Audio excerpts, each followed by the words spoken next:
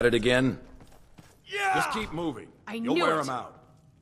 I'll kill you! Yeah! Chop, chop! Just keep swinging. Ah, lucky hit! Yeah! You dare fight a Dunmer? Oh! Going to enjoy killing you. Get him! Kill him! Your best, huh?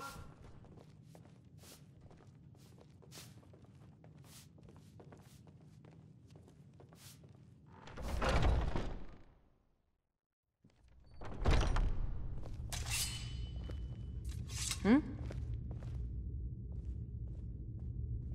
Oh, I'm just a servant, dear. You want to talk to one of the companions, I'm sure.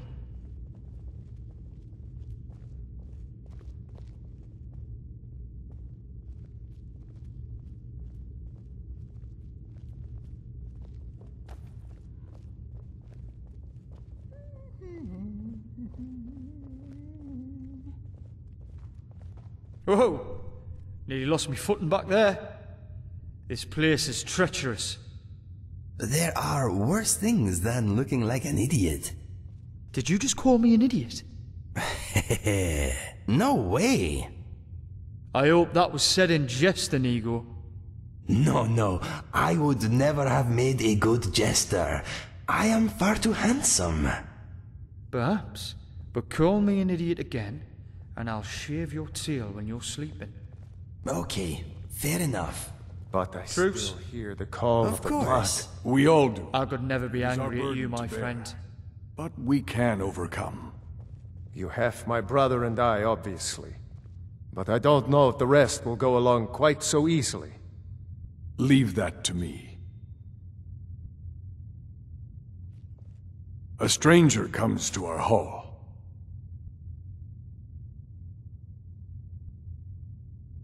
Would you now?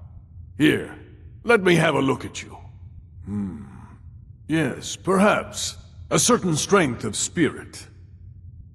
Master, you're not truly considering accepting her. I am nobody's master, Vilkas. And last I checked, we had some empty beds in Jorrvaskr for those with a fire burning in their hearts. Apologies. But perhaps this isn't the time. I've never even heard of this outsider. Sometimes the famous come to us. Sometimes men and women come to us to seek their fame. It makes no difference. What matters is their heart. And their arm. Of course. How are you in battle, girl? That's the spirit. Vilkas here will get started on that. Vilkas, take her out to the yard and see what she can do. Aye.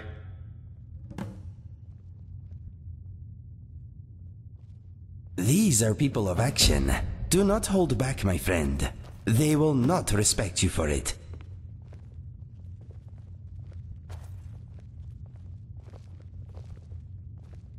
We're actually joining the companions of Jorrvaskr? How tremendously macho! They'll never believe me back home.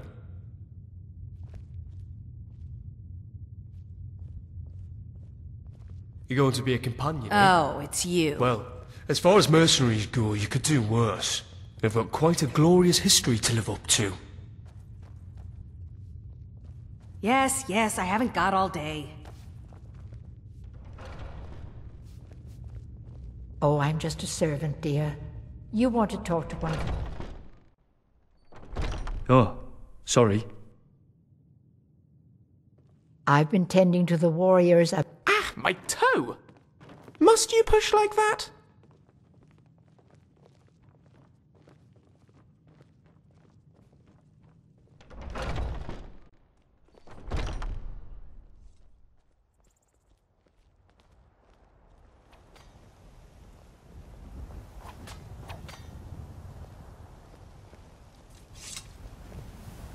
The old man said to have a look at you.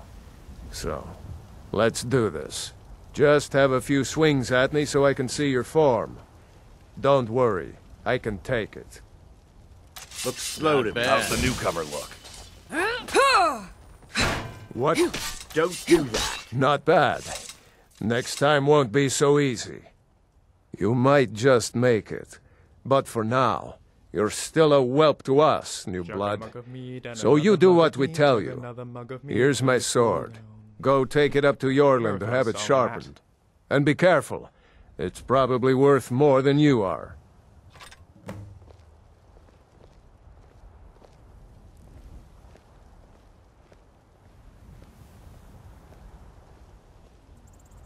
You know, when I think of joining the companions, this sort of fetching and carrying isn't exactly what comes to mind. Vilkas is a bit of a grumpy git, isn't he?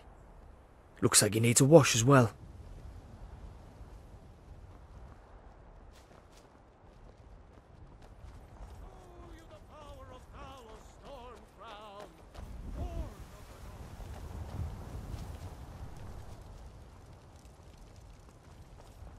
What brings you here? I'm guessing you're the newcomer then. Oh, don't worry too much about it. They were all whelps once. They just might not like to talk about it. And don't always just do what you're told. Nobody rules anybody in the Companions. Not actually a companion myself, but none of them know how to work a forge properly, and I'm honored to serve them. Hmm, hmm, hmm. My name is Eorlund Greymane. I work the Skyforge. Best steel in all of Skyrim. All of Tamriel. Well, I'm not sure how they've managed it, but they have. No leader since Ysgramor. Kodlak is the Harbinger, and he's a sort of advisor for the whole group, but every man is his own. Every woman her own. I have a favor to ask. I've been working on a shield for Aela. My wife is in mourning, and I need to get back to her soon. I'd be much obliged if you could take this to Aela for me. Well done.